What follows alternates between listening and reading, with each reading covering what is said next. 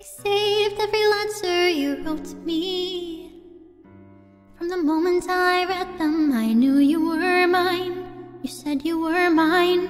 I thought you were mine. Do you know what Angelica said when we saw your first letter arrive? She said, Be careful with this one, love. You will do what it takes to survive. You and your words flooded my senses. Your sentences left me defenseless. You built me palaces out of paragraphs. You built cathedrals. I'm rereading the letters you wrote to me. I'm searching and scanning for answers in every line for some kind of sign when you were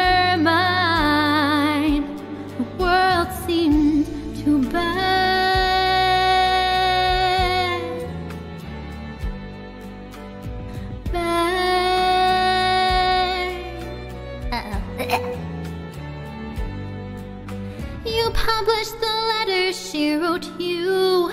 You told the whole world how you brought this girl into our bed. And clearing your name, you've ruined our lives.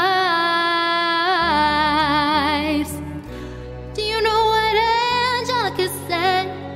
When she read what you'd done, she said, You've married an Icarus. He has flown too close to the sun.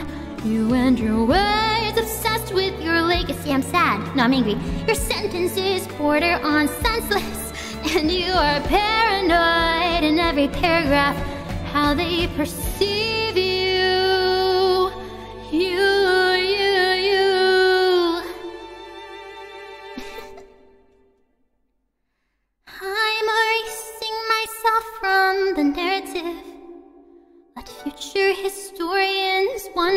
how Eliza reacted when you broke her heart. You've torn it all apart, I'm watching it burn.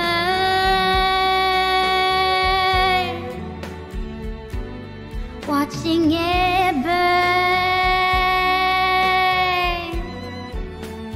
The world has no right to my heart. The world has no place in our bed. They don't get to know what I said. Burning the memories, burning the letters that might have redeemed you.